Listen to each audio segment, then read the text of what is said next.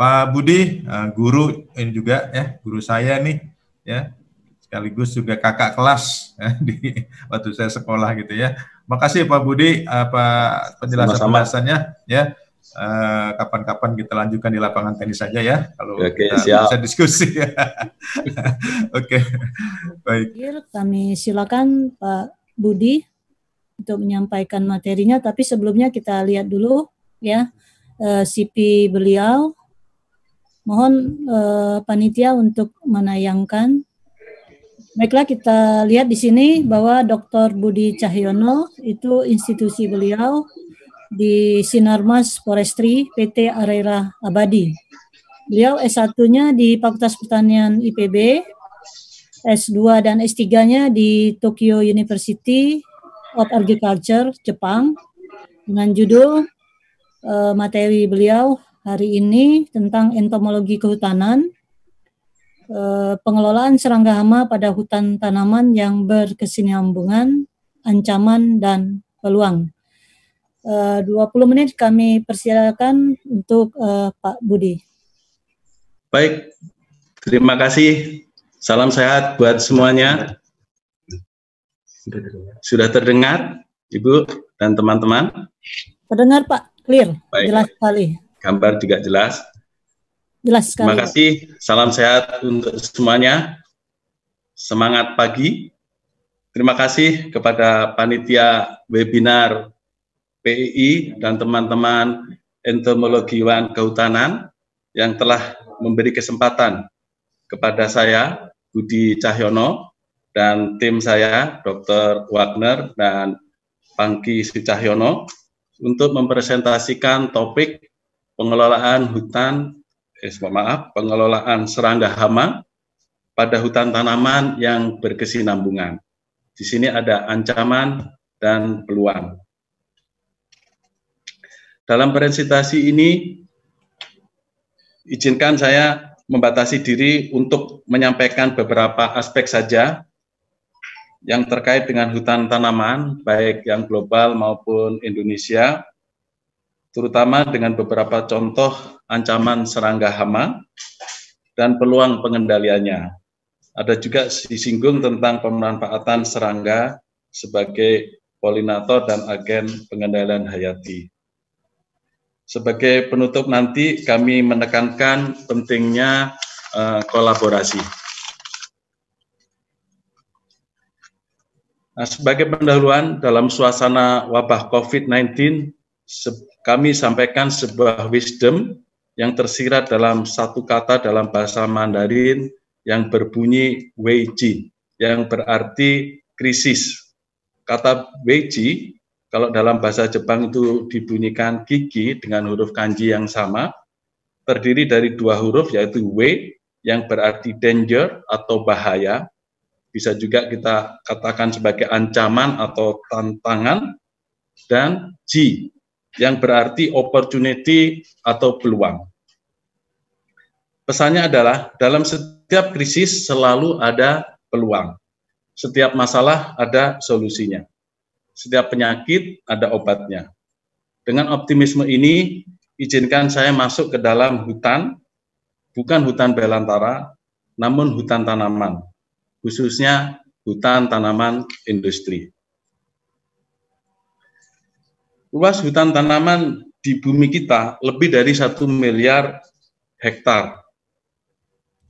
Ini kurang lebih 30 persen dari hutan e, belantara. Dengan produksi kayu lebih dari 2 miliar kubik, lebih dari 50 persennya diproduksi di Asia Pasifik, dan dari hutan tanaman di Indonesia kita dapatkan sekitar 41 juta kubik kayu. Produksi kayu di Indonesia tersebar di semua pulau kecuali eh, tapi yang sebagian besar 80% lebih itu di Sumatera dan Kalimantan dan jenis kayu yang mendominasi adalah dari pohon akasia dan dan eukaliptus. Ini terutama untuk produksi pulp and paper.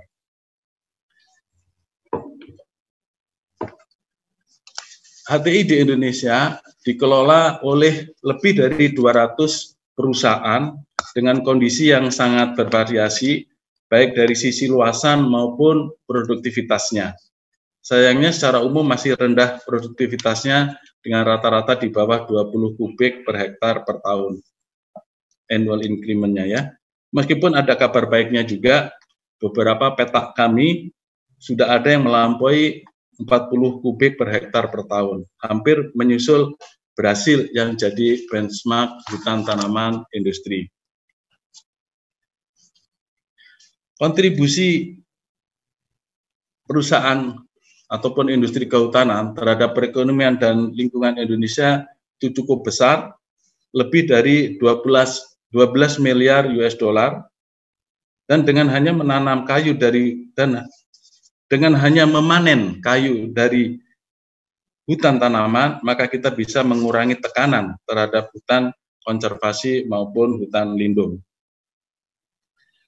Pembangunan hutan tanaman yang berkesinambungan menjadi suatu keniscayaan untuk dapat memenuhi permintaan pasar dan juga mengadres kepedulian terhadap lingkungan yang sejalan dengan konsep sustainable development yang dicanangkan PBB. Untuk itu ada beberapa skema sertifikasi kehutanan yang berwawasan lingkungan, baik yang nasional seperti PHPL, itu pengelolaan hutan produksi lestari, FCC, dan Lembaga Ekolabel Indonesia, maupun yang internasional seperti FSC yang berbasis di uh, Jerman, ya, dan juga BEFC yang berbasis di Swiss dan Green Label di Singapura. Namun dalam pengelolaan hutan tanaman terdapat bahaya atau risiko ancaman yang bisa kita juga kita anggap sebagai tantangan dari serangga hama yang terus bertambah jenis maupun jumlahnya. Ancaman spesies invasif lebih kurang ada 256 spesies telah diperingatkan dan dipetakan di berbagai negara. Pemanasan global juga sangat berpengaruh terhadap populasi serangga. Ini terkait dengan kemampuan reproduksi yang semakin tinggi, waktu perkembangan yang lebih singkat, terjadi ledakan hama yang semakin sering, dan terjadi pergeseran inang. Kami yang bekerja di lapangan menyaksikan dengan mata kepala sendiri fauna ini, fenomena ini memang sangat nyata dan ini didokumentasikan dalam berbagai uh, publikasi yang dalam 20 tahun terakhir ini jumlahnya sangat meningkat. Jadi laporan yang mengaitkan serangga dengan perubahan iklim terus meningkat dari hanya empat makalah pada tahun 97 itu meningkat 10 kali lipat 10 tahun kemudian menjadi 43 dan Kemudian dalam 10 tahun kemudian juga tiga kali lipat lagi menjadi lebih dari 100 laporan per tahun. Jadi dalam eh, 8 tahun terakhir itu setiap tahun muncul lebih dari 100 laporan terkait dengan masalah ini. Di lapangan kami merasakan pentingnya serangga hama sebagai faktor penurun produksi baik di nursery atau pembibitan sampai ke plantation bahkan sesudah panen. Ini sekedar contoh beberapa hama di nursery. Kami harus mengendalikan hama ini untuk mencapai target tanam yang luasnya kami setiap tahun itu menanam lebih dari 200 ribu hektar di lima provinsi. Dan ini membutuhkan bibit lebih dari 400 juta bibit per tahunnya. Jadi hampir setengah miliar bibit kami harus produksi setiap tahunnya dan ini sebagian besar lebih dari 80 persen kami tanam di tiga provinsi Jambi, Riau dan e, Sumatera Selatan. Ini contoh hama di plantation baik yang menyerang daun seperti ulat penggulung daun dan helopeltis si penghisap pucuk maupun yang menyerang batang seperti rayap microcerotermes duplex dan juga penggerek batang Polypagosera coveae. Rayap Microcerotermes ini jarang atau bahkan tidak hilang, tapi sekarang menjadi hama penting di eukaliptus, khususnya di Kalimantan Timur. Dan sudah mulai di Rio. Nah, berikut adalah berita baiknya bahwa kita ada peluang untuk pengendalian hama, memanfaatkan sistem PHT khususnya dengan pengendalian hayati yang akan kami presentasikan. Baik yang kami sedang lakukan di Rio maupun ada beberapa contoh yang dilakukan teman kita di Brasil. Ini adalah kerangka kerja kita dalam menerapkan sistem pengendalian hama terpadu di hutan tanaman dengan tiga sistem yaitu pencegahan, monitoring, dan pengendalian. Berikut adalah cara taktik atau strategi di masing-masing subsistem, baik menyangkut karantina, tanaman tahan, silvikultur terbaik, dan seterusnya. Dan kalau kita buat piramidanya seperti gambar berikut, kita mengutamakan uh, pencegahan dan cara yang ramah lingkungan. Cara kimia adalah pilihan terakhir bila sangat diperlukan. Berikut adalah contoh PHT yang kami terapkan di hutan tanaman industri di Rio khususnya.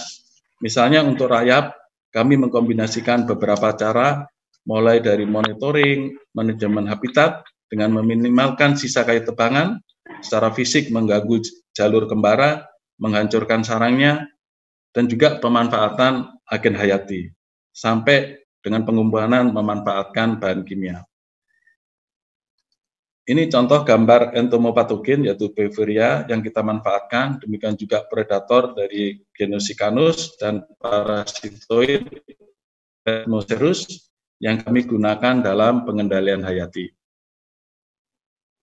Ini contoh konservasi dan pengembangan predator khususnya Sicanus untuk pengendalian larva Lepidoptera, Helopettis maupun penggerek batang. Itu gambar yang di tengah ini Saudara Pangki, salah satu kontributor penulis dari makalah ini yang sedang melepaskan sikanus untuk pengendalian penggerek batang. Berikut contoh eh, pengembangan dan pengelepasan parasitoid Eretmocerus di nursery eucalyptus untuk pengendalian whitefly atau bemisia. Nah ini beberapa contoh uh, beneficial plan untuk pengendalian hayati di HTI. Ada beberapa spesies yang umum kita gunakan, baik itu ternera, antigonon, kasia, dan lainnya. Berikut contoh pengendalian hayati di HTI Brasil untuk hama invasif dari Australia. Yang pertama kali mereka temukan tahun 2008 dan mereka kemudian mengimpor musuh alaminya pada tahun 2012.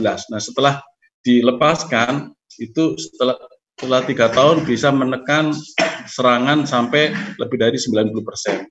Di sebelah kanan Bapak Ibu bisa melihat betapa parahnya serangan hama di HTI di Brasil. Demikian juga ada beberapa jenis hama invasif lainnya seperti Leptocype invasa, Gonepterus, Glycaspis, dan lainnya yang masing-masing mempunyai musuh alaminya sendiri. Dan semuanya ini berasal dari Australia. Bukan hanya masalah yang invasif, juga eh, untuk hama domestik, Brasil juga mengembangkan musuh alami yang berhasil termasuk pemanfaatan Bacillus thuringiensis untuk ulat uh, geometri D dan juga uh, parasitoid untuk pupa. Ya. Nah ini merupakan contoh yang berhasil di Brasil dan mereka juga mengembangkan uh, produksi secara massal bahkan ada tiga perusahaan kehutanan memiliki laboratorium pemeliharaan serangga sendiri yang kami tiru juga di Rio, kami juga mengembangkan laboratorium pemeliharaan serangga sendiri. Sayangnya di sini belum ada perusahaan nasional maupun multinasional yang ikut mengembangkan sebagaimana di Brasil ada 10 perusahaan. Dan produksi mereka meningkat eh, demikian juga pemasarannya meningkat 15% setiap tahunnya. Hal lainnya adalah penggunaan feromon untuk untuk monitoring dan pengendalian khususnya untuk mengganggu proses perkawinan dan untuk penangkapan dalam jumlah besar. Di Brasil memang sudah diterapkan, tapi di Indonesia terus terang untuk HTI baru kami uh, teliti. Hasilnya uh, belum memuaskan karena terbentur masalah suplai feromonnya. Tak kalah pentingnya adalah pemanfaatan teknologi baru, khususnya penggunaan drone untuk deteksi dini, monitoring, dan pengendalian. Yang sebelah kiri itu adalah apa yang kami lakukan di Rio.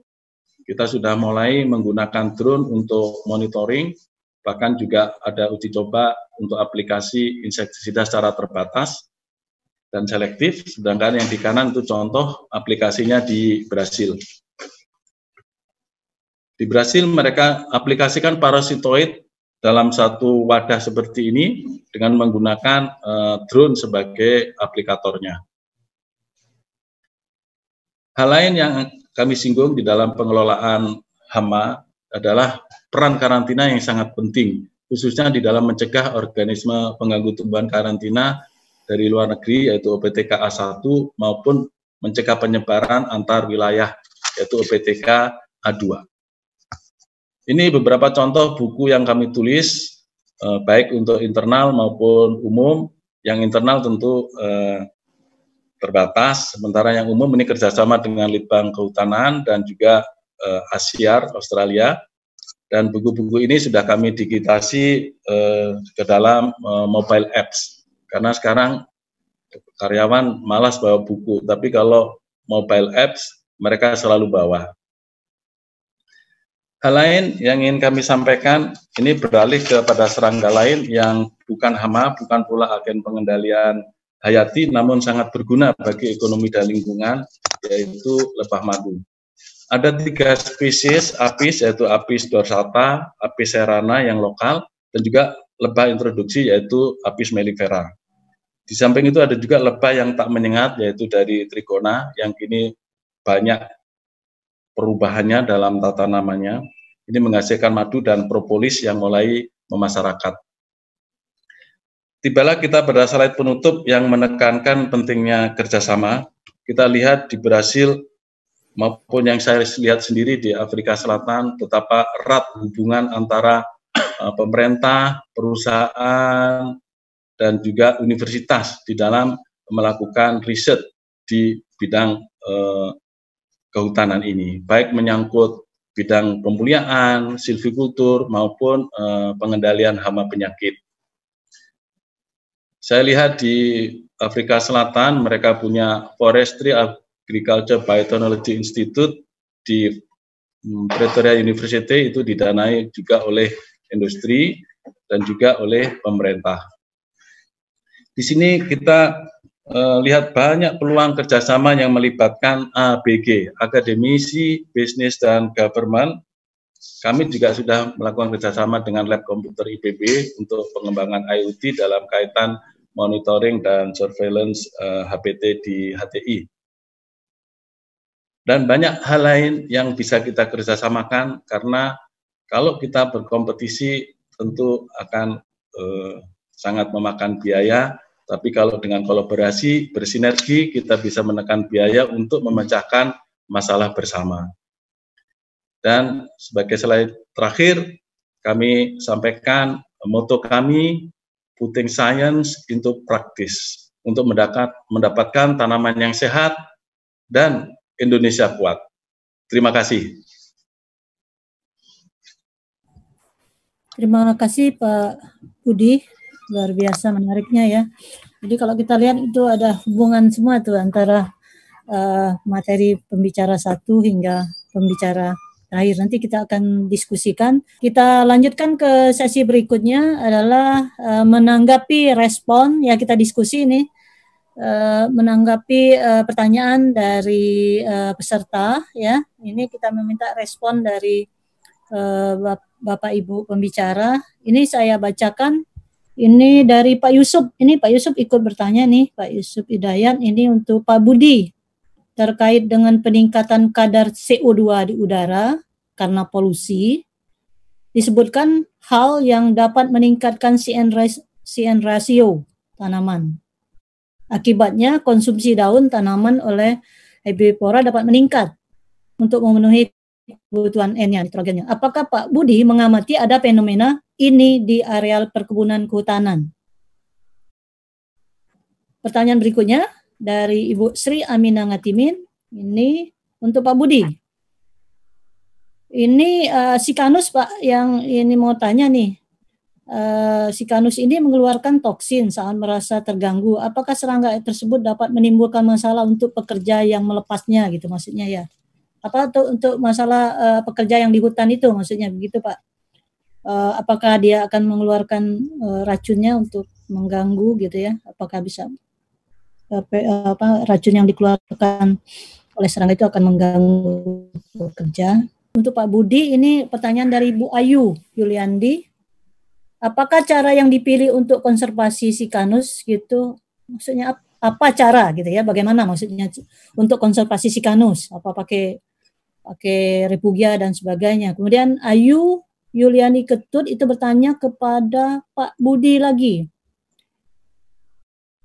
Untuk konservasi predator, ini sama ya kok pertanyaannya diulang ya. Imam Patoni Pak Imam bertanya ke Pak Budi, pada kasus outbreak hama di tanaman hutan industri di Brazil, apakah menyebabkan hal tersebut padahal hama-hama tersebut berasal dari Australia? Apa yang menyebabkan gitu Pak? Ini tertarik dengan drone. Ya, tadi yang menyampaikan drone mungkin Pak Budi sama oh ya Pak Budi ya. Untuk melepaskan musuh alami Pak, ternyata drone-nya bukan untuk e-color ataupun untuk inus, tapi untuk melepaskan dia. Bertanya ini apakah untuk melepaskan si kanus pakai drone gitu ya di kelapa sawit? Atau untuk apa tuh drone-nya gitu ya? Mungkin perlu penjelasan dari Pak Budi mungkin ya. Atau yang lainnya mungkin ini banyak ber sudah risetnya ke Making Indonesia 4.0 Pak Intan mungkin bisa membantu juga menjawab. Silakan Pak Budi. Oke, baik terima kasih banyak pertanyaan mudah-mudahan nanti bisa terjawab uh, sebagian paling tidak pertama mengenai si kanus yang mengeluarkan toksin ya saya sendiri pernah di uh, bukan digigit ya, dia ditusuk sama dia dan mengeluarkan toksin panas memang, tapi uh, tidak terlalu berbahaya. Dan sebenarnya kalau kita tidak mengganggu, kita tidak diserangnya. Sama dengan dengan lebah juga, saya juga pelihara lebah. Itu kalau kita tidak terpencet, tidak terganggu, dia tidak menyerang kita. Nah, itu dari uh, si Karnos ya. Terus bagaimana evaluasi penggunaan agen hayati? Pertama dari populasi hama target kita. Kalau target kita turun, ya itu salah satu uh, indikator keberhasilan. Yang kedua, yang paling penting tanamannya. Ada pemulihan nggak kesehatan tanaman? Menurun nggak serangannya? Itu yang kedua yang penting. Yang ketiga, dari populasi uh, musuh alaminya itu sendiri. Ya, apakah meningkat atau tidak? Meskipun ini kurang begitu pas ya, bisa jadi uh, dia populasinya menurun itu bukan karena nggak efektif, tapi karena pindah tempat, mencari makanan yang lebih banyak, itu bisa. Tapi yang paling penting ya dari sisi tanamannya pulih, jadi sehat, dari sisi hamanya, populasi hamanya menurun, itu uh, yang paling penting.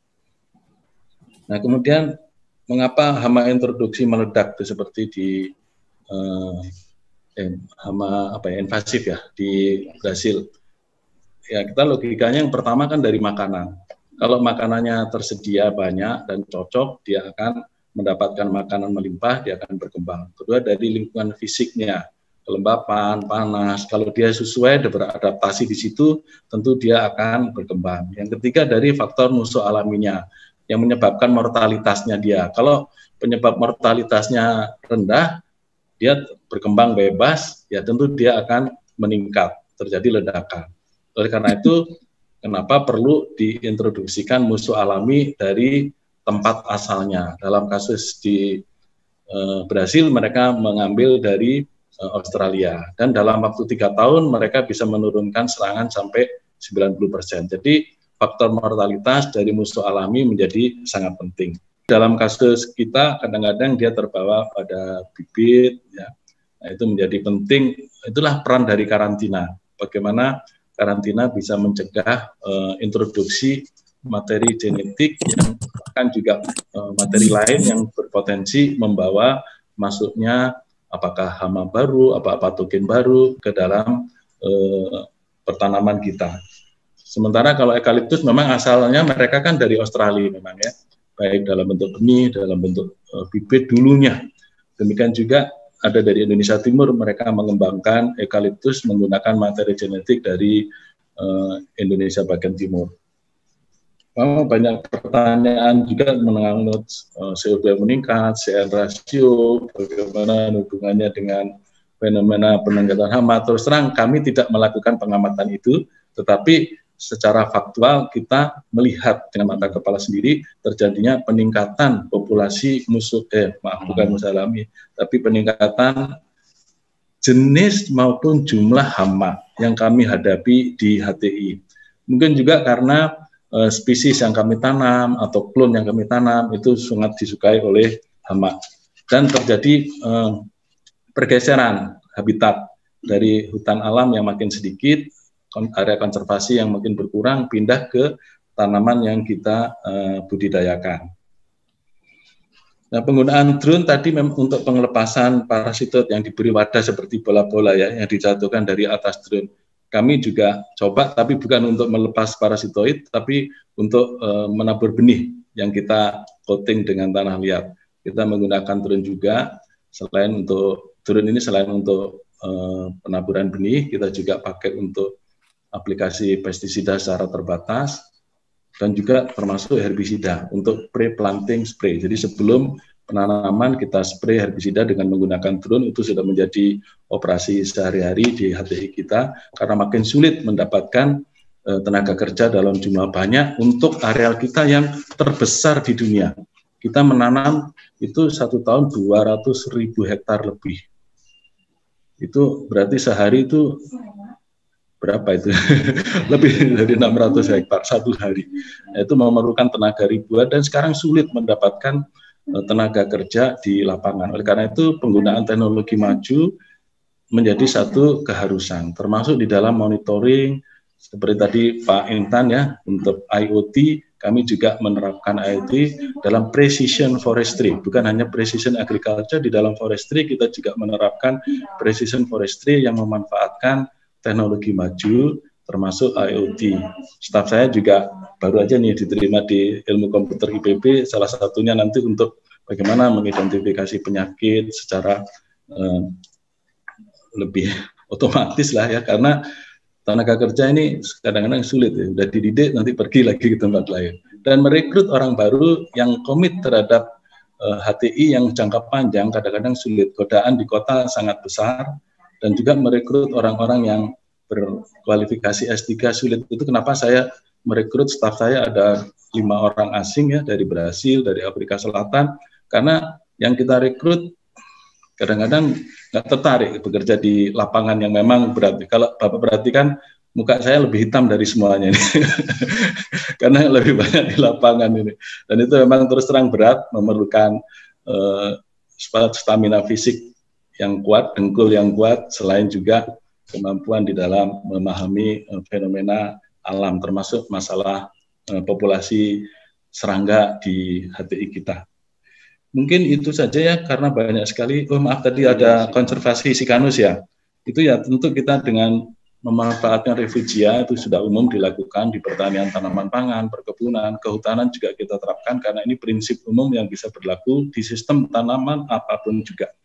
Demikian juga kita melakukan konservasi area native species, kita juga memelihara sikanus, kita lepaskan secara periodik untuk menambah populasi di area-area yang populasinya memang menurun, di mana banyak kejadian hama, termasuk ulat penggulung daun yang ditanyakan oleh salah satu penanya tadi, bagaimana secara efektif untuk menekan level itu masuk dengan pengelepasan sikanus ini. Di samping kita melakukan pengelolaan habitat, mengurangi tempat berkembangnya, terutama terubusan eukaliptus itu menjadi tempat uh, bertelurnya uh, si serangga yang nantinya penetas menjadi ulat penggulung daun. Kita lakukan juga pengendalian kimia memang terbatas dengan melakukan perkembangan benih dengan bibit ya akarnya pada suspensi uh, insektisida yang sistemik tapi kemudian apabila di satu area setelah satu bulan masih ada serangan, kita aplikasi insektisida secara uh, terbatas.